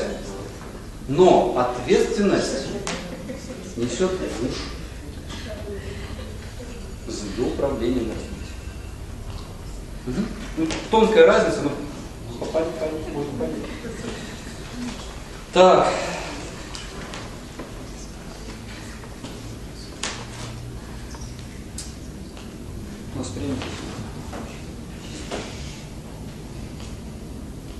Вау. Ну ладно, что-то еще мы успеем, может, это сказать. Итак, мы еще говорили об одной важной теме, которая, и мы еще, и- еще раз на ней заострим внимание. А когда у женщины есть контроль над мужчиной, когда женщина контролирует мужчину, тогда она полностью становится в своей природе. Мы это начали говорить. То есть постулат был произнесен, может быть? Не. То есть раз- мы говорили о том, что разумный мужчина, он покажет, как он привязан к женщине. Как он от нее зависит, как он без нее жить не может. Говори, брат. Говори. И делай. Почему? Почему это важно? Если, если он не покажет свою привязанность к женщине, у женщины будет много желаний. То есть чувство эмоций, оно должно трансформироваться в чувство собственности. Помните, да, мы говорили об этом? Что будет, как не сливать это? Не будет зашкаливать. Нет. Соб- чувство собственности это очень хорошо. Потому что если это что-то наше, мы будем это беречь. Вот мой рояль. Вот кто тут открыл крышку, кто тут убирал? Сбили там. Я жена. Кто здесь крышку открыл? Да. Я жена, правильно. Вот так это чувство собственности это очень хорошо, да? Поэтому мы говорили, что есть два типа отношений. Отношения мужчины к женщине, отношения правого и левого крыла, как говорится в ведических писаниях. То есть правое крыло это женщина говорит, что я принадлежу мужчине. А левое крыло говорит, мужчина мой. Это моя собственность. И тогда женщина может выражать свои эмоции свободно. Она не будет льстить, там, говорить, что хороший, только так. То есть она будет выражать свои эмоции такие, какие есть. И мужчина, он готов к этому. То есть ему это нужно.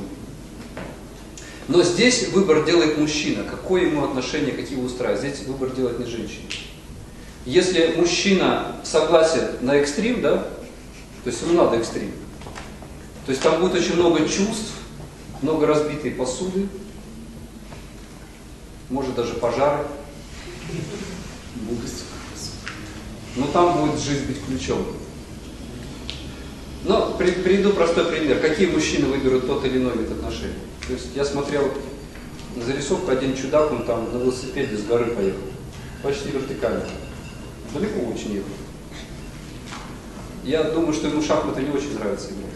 этому человеку. То есть ему нужен какой-то вот экстрим. То ему как раз вот такие отношения, как бы с такими вот эмоциями такими, вау, вау. И тогда он, ему, ему нужно, как, он какую роль играет? Он играет простую роль. Он говорит, я просто, ну, как бы он действительно а, влю- влюблен в нее, у него есть чувство собственности к ней, и у нее рождается такое же чувство к ней. И они просто могут что угодно друг другу говорить, сколько угодно посуды пьется, но они знают, что они без друг друга жить не. То есть у них вот эта привязанность, чувство собственности, это высшие эмоции. Тут как бы еще бы схему Ну, нарисовать, но это тогда... Мне вот интересно, неужели как бы вот она не может чувствовать себя, как бы что вот это мой, и при этом проявлять какие-то мирные эмоции, в плане, что как бы если ты ведешь себя правильно, ты понимаешь, как надо себя правильно вести, ты правильно себя ведешь, и она, ну все нормально, и посуда Потому что была- мужчина хочет комфорта женщины, правильно? Ну да. И он говорит, так, почему ты ведешь себя так? А что хочет женщина теперь другого? Ты меня не понимаешь. Да, она хочет эмоции проявлять, у нее логика эмоций. То есть логика эмоций это значит, что эмоции могут вот так идти, идти, идти, а потом ни с того ни с сего вот так упасть. А потом вот так опять подняться. Для мужчины важно что? Так, а почему ты поднялась эмоция вот эта у тебя? Ты что, ничего, ничего не понимаешь в жизни? Это ее эмоция. У нее есть логика эмоций. Сейчас, по ее логике, у нее период эмоционального роста. Нет, в смысле, Вопрос, есть, а вот вы сказали, чувство собственности хорошо. Это для женщин, для мужчин? Для мужчин и для женщин хорошо. Тогда вопрос вечно у меня. Если у нее чувство собственности к девушке, да, ну... А у нее нет, да? Да, она не моя, то есть то это суть чувства собственности только страдания? Да. А иначе, значит, не очень То есть самое важное, если говорить о приоритете, что важнее? Чувство собственности женщины по отношению к мужчине, чувство собственности мужчин, то важнее, чтобы женщина была. Потому что мы говорим о чем? Отношения определяет женщина. То есть будет брак или не будет брак, будет отношения, не будет, определяет женщина. Мужчина не определяет. Мужчина может проявлять себя, герой такой, все. Но она будет решать. Это законы Вселенной. Поэтому важно, чтобы женщина была привязана. Поэтому рассматривается правое и левое крыло относительно женщины. То есть женщина либо говорит, да, я привязана, это моя, это моя собственность. И эти отношения крепкие, очень крепкие. Она может его гонять, он убегает от нее. И кажется, что ну какая здесь вообще эмансипация, что ли? Нет, на самом деле это ну, разумный мужчина, он позволяет это делать. да как-то вообще прямо, я даже не знаю. Потому что мужчина, почему? Мужчина не должен утверждаться в семье. Мужчина должен утверждаться в социуме. Он утверждается там, а в социуме, ну, в семье он просто как бы играет роль. Так, как ребенок, да, вот ребенок сейчас, вы пришли, допустим, домой, там ребенок говорит, папа, убегает меня, и папа убегает, и все прячется.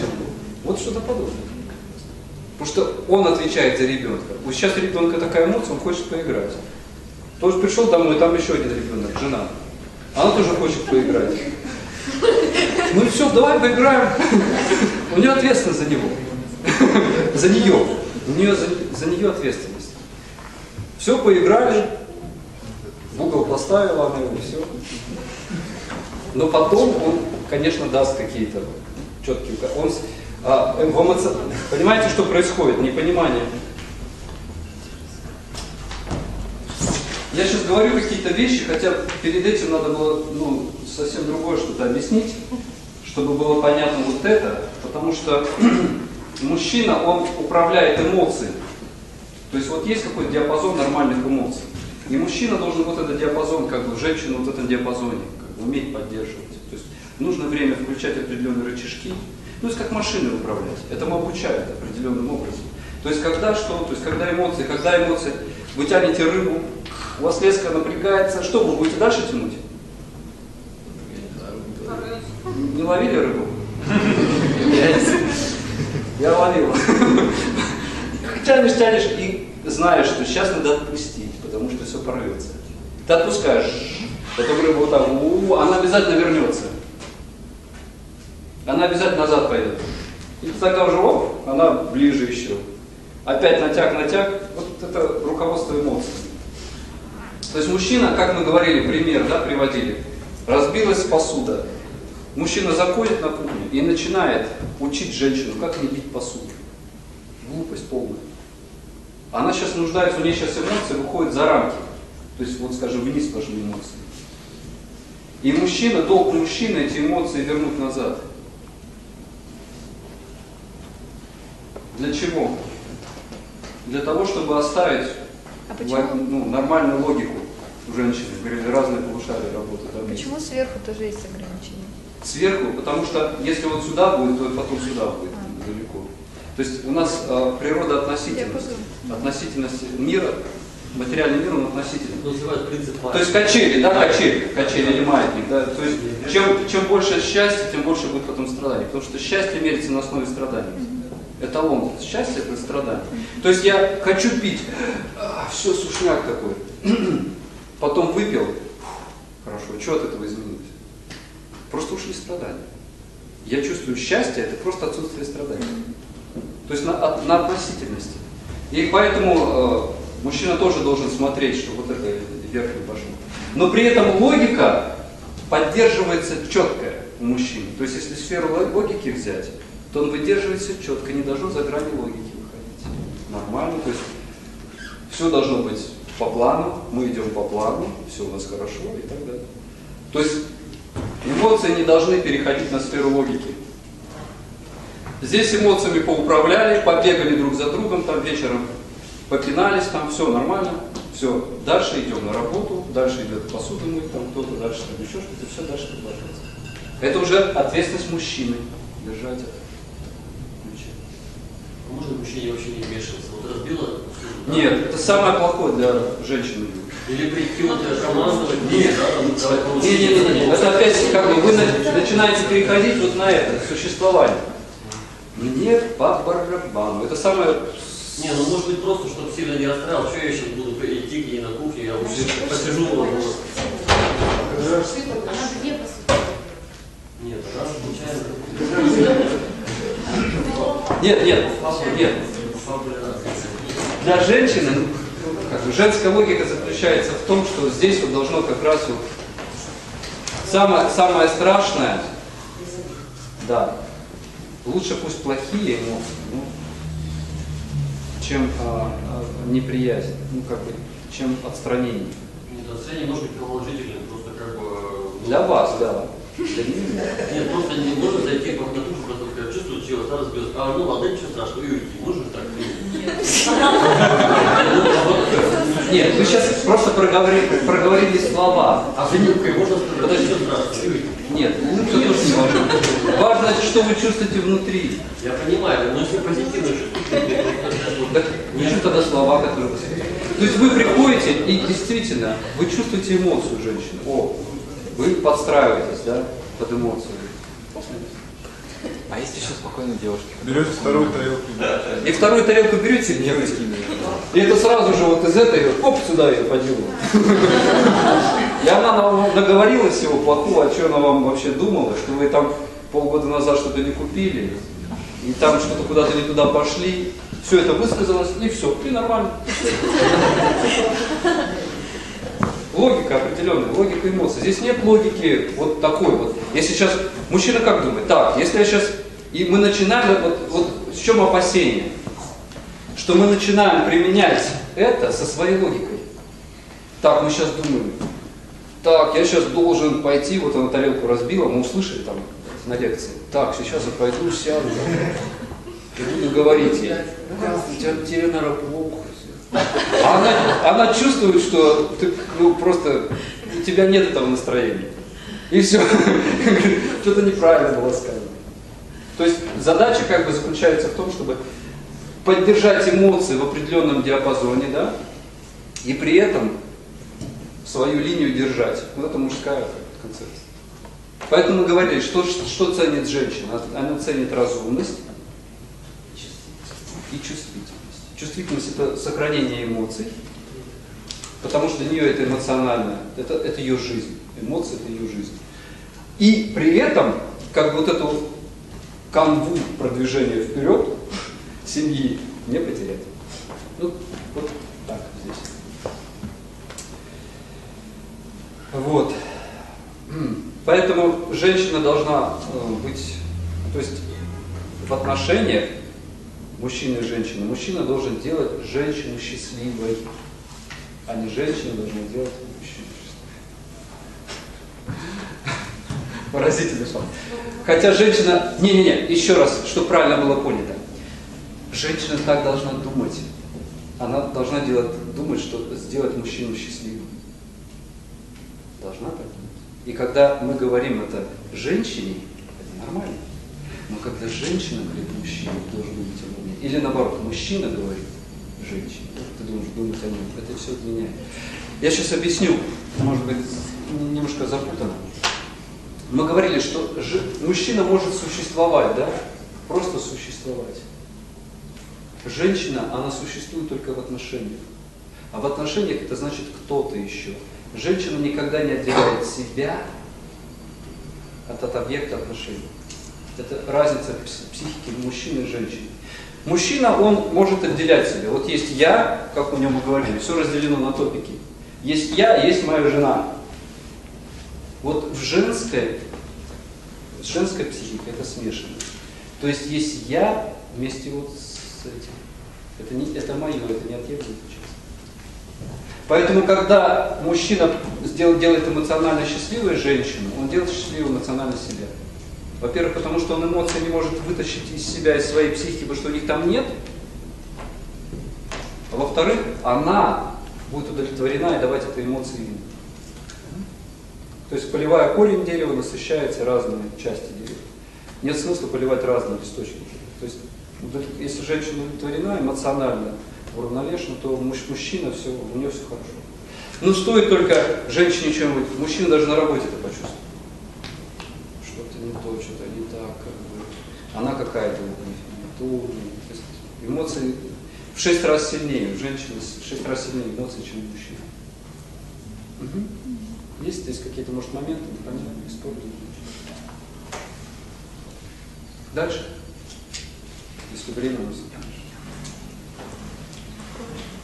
Так, мы говорили, что ценят женщина в мужчине, да, мы об этом сказали, что женщина в мужчине ценит разумность и чувствительность, да, одновременно. Мужчина как раз он либо то, либо другое может, либо разум, он не может одновременно. Если мужчина проявляет это, то женщина это ценит. Теперь, что ценит мужчина в женщине?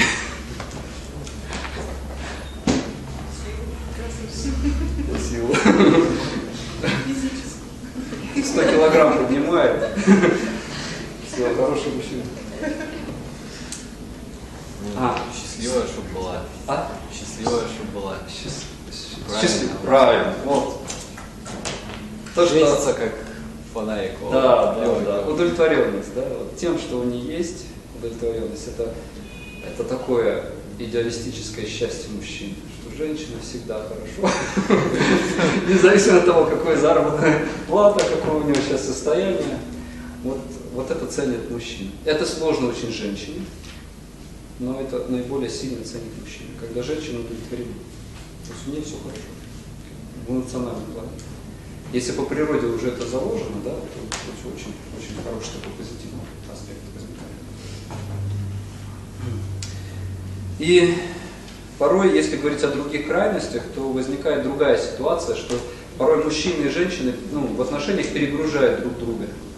Женщина перегружает мужчину чем? Эмоциями, да. То есть какая-то вот у нее вот точка, вот она такая хмурая, да, и, муж, и мужчина он это перегружать начинает. На самом деле говорится, что это очень важно, это должна чувствовать женщина, чтобы не перегрузить мужчину. Потому что мужчина может эмоционально не справиться. У него логика не работает, когда эмоции работают. Поэтому если мужчина а, а, как бы перегружается, вот женщина не удовлетворена, у нее все плохо, там постоянно все плохо, и это плохо, и он начинает, ну, вообще, у него пе- переключка происходит, и он думает, ну все, я просто ничего, ни на что не гожусь. Я просто не мужчина вообще, у меня самоедство начинается хуже. И женщина должна это регулировать, уметь это регулировать, э, уметь это привносить э, в отношения с мужчиной. А, иначе это будет такой, это называется психология эмоциональный терроризм. То есть когда, это, это не значит терроризм, это значит женщина так, «Ау, это не терроризм. А? А? Это истерия. Истерия, да. Терроризм, когда она так, ну, недовольна. Что-то, что-то, и, по-моему, в тебе вся проблема там. Ты там это, ты там, то у тебя плохо, это смотри вот. Колька, смотри уже там, карьеру какую сделал, а ты вот до сих пор. Смотри, вот как эти живут, как соседи живут, смотри, на какой машине они ездят. Посмотри, вот сумку я месяц назад только новую купила. Ну, как бы все вот так, не очень, посмотри, вот видишь, не очень как все. И вот это очень сильно перегружает мужчину, и он может закипеть. Закипает он не от того, что она выражает свои импульсивно свои эмоции, от того, что она недовольна. То есть мужчина это остро чувствует. Если а, как бы это на протяжении какого-то долгого времени, то, дорогие девушки, будьте аккуратны. То есть тогда возникнет какая-то ситуация, когда какой-то будет ситуация разрыв. Потому что это очень перегружает. А для того, чтобы э, э, не перегружать мужчину, есть кто? Подружки. Хобби. Есть подружки. Но вообще а, говорится, что бабушки лучше всего. да. Ну, не знаю, конечно, у нас сейчас семьи такие, что бабушка, что, что бабушка? Бабушка учить не будет, в отличие от мамы. Мама всегда будет учить. Это смотря какая бабушка. Ну. Но по природе бабушка, она, ну, как бы, мама, как бы, она заботится вот именно дать путевку в жизнь своей дочери. Так. Учение, нравоучение. А это не нужно. Вот в этой ситуации ей не нужно это вообще. Ей нужно просто, чтобы кто-то выслушал ее эмоции и сказал, нормально. Знаешь, как мы со своим дедом с такой саблей приехал как бы, с войны, и как мы там разбирались. Все. И все таким образом как бы решается. А если бабушки нет? Бабушки нет. Тогда подружки остаются, что. Но важно, знаете, как, а, почему подружки не очень еще хорошо. Сейчас некоторый такой, может, негатив скажу. ну, Потому что в подружках есть, э, ну, как и, и в не подружках, и в друзьях, да, с мужчин, есть а, в аспектах отношений. В чем конкурируют женщины? Они конкурируют в аспектах отношений. Если мужчины конкурируют в аспекте успеха, то женщины конкурируют в аспекте, в аспекте отношений. И поэтому э, будет присутствовать зависть, хотим мы это или. То есть как мужчина, он когда общается с э, другим мужчиной, то есть они смотрят, как, насколько он успешен, этот мужчина. И у них, ну, как бы, естественно, будет пробуждаться в этой сфере некоторая вот такая зависть. То у женщин вот возникает зависть вот в аспекте отношений. То есть когда девушка, почему мы бабушка? Потому что бабушка, у нее все хорошо. А вот подружки, у них вот может этот аспект присутствовать. Поэтому очень, ну, как бы, не говоря о том, что это всегда так, ну, этот аспект может быть просто проговорим. Мужчина перегружа- перегружает женщину чем?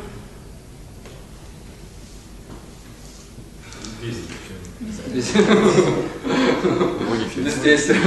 Ну да, это сильная перегрузка. Но это уже крайность какая-то, да, потому что женщину сильно не, бездействием не перегрузишь. Она в какой-то момент скажет, слушай, дорогой, и все, и это дорогой никуда не денется, потому что из этих э, объятий как бы очень сложно вырваться. Какая-то холодность небольшая появится, и мужчина уже не может э, быть спокойным. То есть просто если близкий человек, женщина, жена, если она э, просто некоторую, даже небольшую холодность проявляет, все, уже мужчина не сможет спокойно лежать на диване. Он может все равно будет лежать на диване. Ну, но неспокойно, да? ему все не, не так. Вот поэтому а, перегружает обычно мужчина женщину своим а, долгом в социальной сфере, соответственно, э, как бы невниманием, да, то есть недостаток внимания, недостаток внимания в отношениях, сосредоточенностью на работе. То есть когда у него только работает левое вот это полушарие логическое, и все. То есть он приходит домой, он продолжает работать. Он работает, он говорит, так, что у нас сегодня, каков план действий. И женщина это чувствует, что просто план, что логика просто. И это перегружает ее. Она теряет ощущение эмоций, ощущение вкуса жизни, свою ненужность. И как есть принцип, без внимания женщины и дети засыхают. То есть нужно внимание, иначе это все плохо кончится. Итак.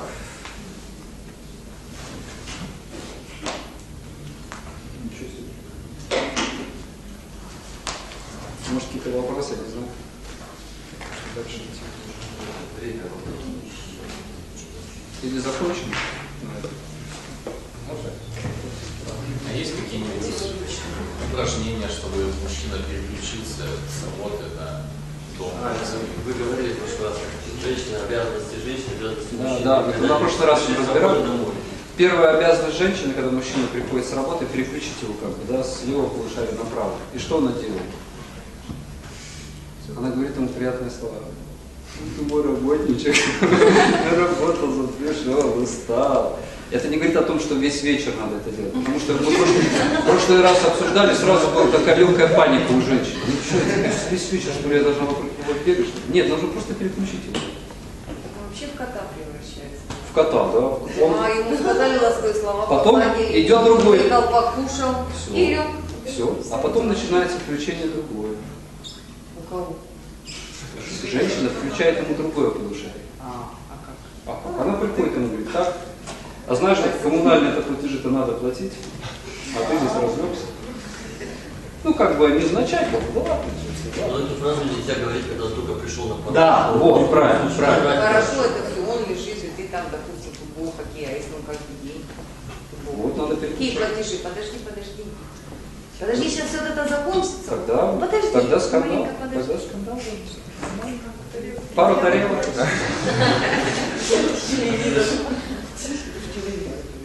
А иначе, ну, как бы тоже, из этого тоже ничего хорошего не будет. То есть мы говорили об обязанности мужчины и обязанности женщины, потому что женщина, да, она должна его переключить на более эмоциональную среду, чтобы он не пришел с работы сухим, с левым полушарием. И как бы он ничего не видит, ничего не понимает, есть цель, не вижу препятствий. Вот он телевизор, цель. Вперед. То есть она должна его переключить на такой эмоциональный, то есть покормить его, а дальше уже начать воспитывать. А как мужчина точно так же действует, как мы говорили, он заходит, тарелка разбилась, он должен как бы ее эмоционально восстановить, да, а потом уже сделать какие-то нотации. То есть это будет тогда Он вообще закончено. может знать о том, что его переключают? А, ну, может знать, может не знать, неважно. Ему вообще об этом сказать, слушай, дорогой, давай В принципе, это не так важно. Так, чувствовать, в каком мы сейчас полушарии, лево или право. Да, что надо переключиться уже. Это не важно. Молодая, да? Вот надо переключать, уметь. Вот это искусство. Вот как искусство этому научиться? Там, мы сидим и вот голову ломаем. А помните, мы говорили, как можно учиться? Как? Учиться это значит брать это качество у того, кого оно есть. Вот есть женщины, которые это умеют делать. Они умеют. Как есть мужчины, которые умеют, э, ну, как бы, ну, как мы говорили, да, вот есть разные сферы. То есть обучение не заключается в том, чтобы теоретически дать знание. Обучение заключается в том, чтобы человек изменился, чтобы он получил вот эту силу, которую он может реализовать. И как обучение? Потому что мы сейчас нач- начали опять говорить те- теоретически. То есть теоретически, значит, расскажите мне вот по полочкам, да? Фразы, да. Да, скажи, какие фразы, Я, что это. кстати, вспомнила пример такой из жизни, как переключить мужчину с работы на какие-то другие дела, да? Ага. Он загружен и долго там. Я заставляла раскладывать детские игрушки, конструкторы по коробкам. Вот. Сначала это было дико просто для него. Я пришел, я думаю, я говорю, давай отвлечешься, вот тебе коробочки. Пять конструкторов, и причем мелких очень, разложили. На следующий день еще один конструктор был. Нет, он это очень, кстати, в Москве отключается. Ему причем захотелось еще что-то делать. Прямо бегом. А давай еще что-нибудь сделаем там такое. Я говорю, ладно, сегодня уже хватит. То есть- либо, либо, например, на даче, да, берешь, даешь ведерко и другую работу ведерком поливать. Всё, Он, он так это нравится все. И отключается, да, такую, такую работу. Да, да. То есть, э, а, поймите, что в отношениях не будет, в отношениях, это сфера, сфера, в которой не будет четких рекомендаций. Говорите это, делайте так. Нет, этого не будет. То есть а, обучение как раз, знание заключается в том, что человек, общаясь с тем, кто это умеет делать, он получает это автоматически.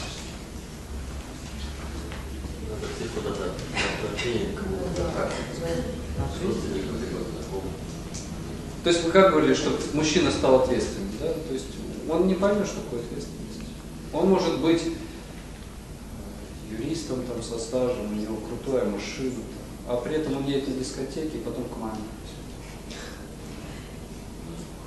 Я, ну, у меня есть много таких, ну, то что много, но есть пару знакомых, которые так до сих пор живут, им уже, извините меня, не буду выражаться, лет, они вот так живут, то есть машина там около двух миллионов стоит.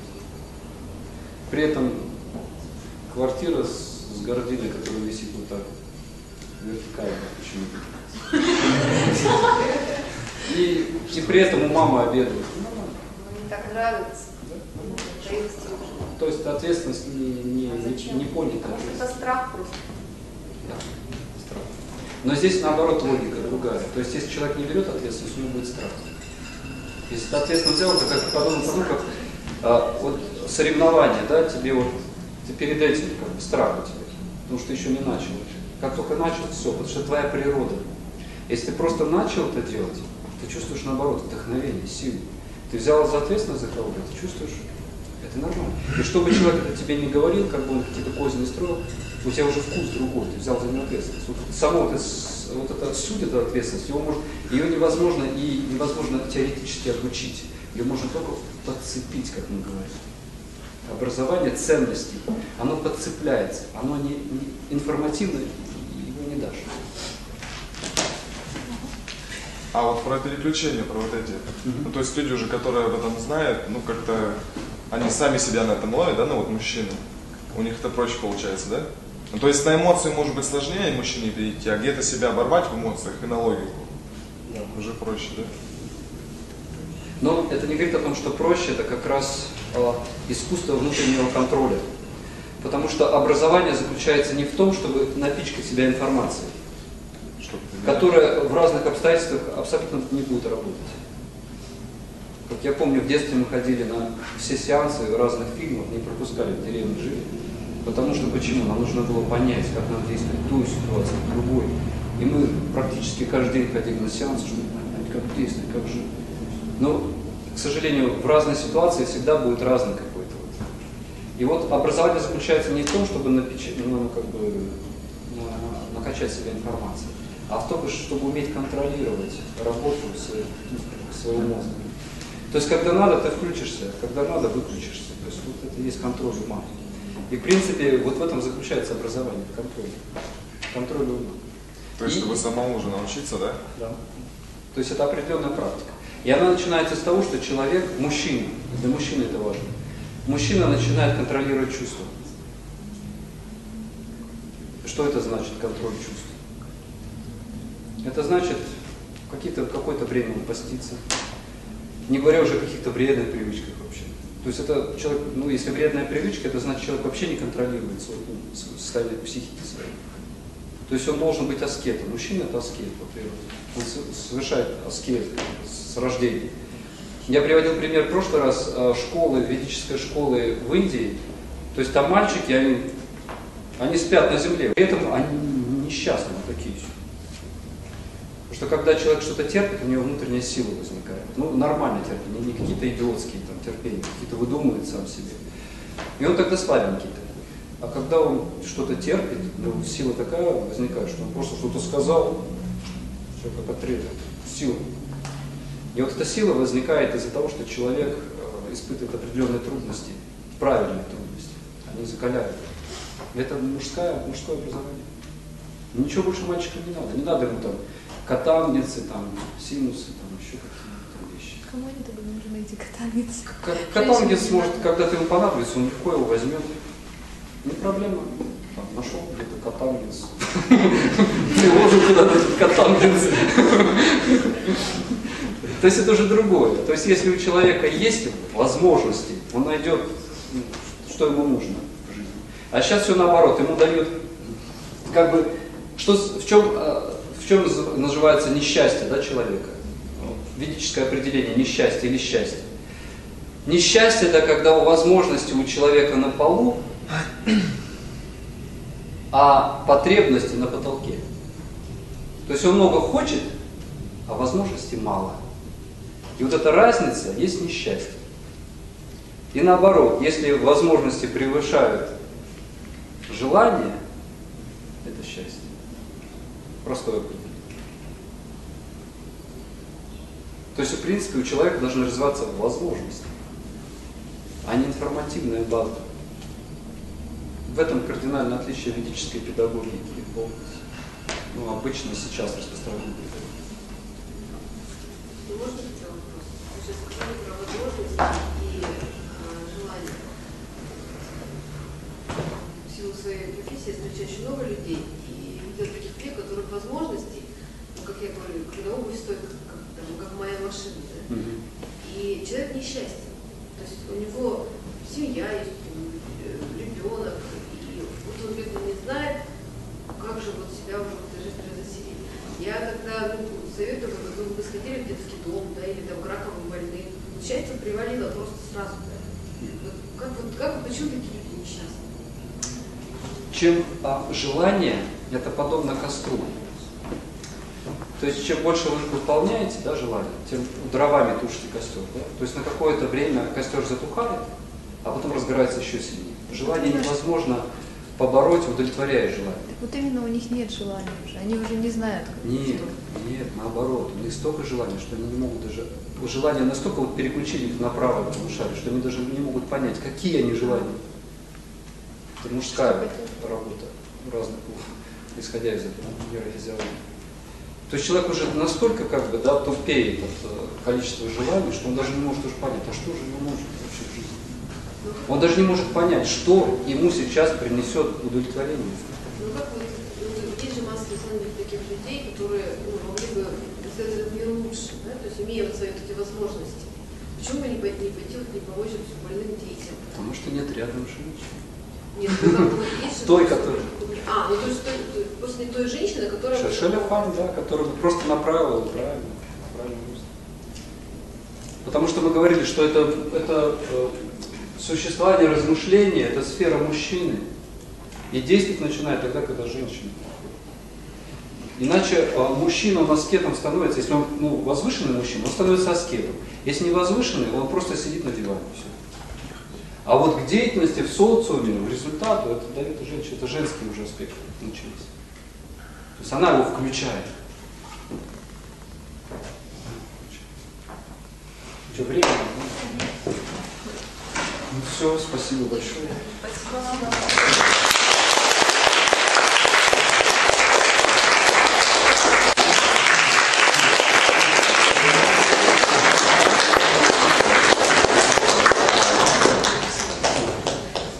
Я, я очень часто был в вашем обществе. И всегда буду рад ну, присутствовать.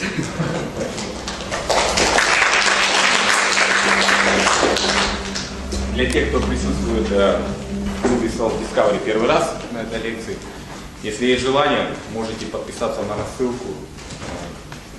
Будете получать оперативную информацию о предстоящих лекциях, семинарах. Также группа э, Self Discovery есть ВКонтакте, можете присоединяться, э, какие-то отзывы, пожелания свои писать.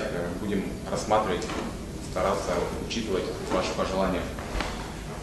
Предстоящих предстоящих лекциях, семинарах. Ровно через неделю будет классный человек э, выступать, Дэнни Даял, э, с лекцией о коучинге.